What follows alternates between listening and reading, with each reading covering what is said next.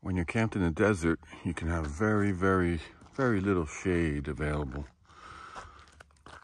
I found that these reflective tarps can give you like really good shade. You know, when that sun hits your tent without it, it's like an oven.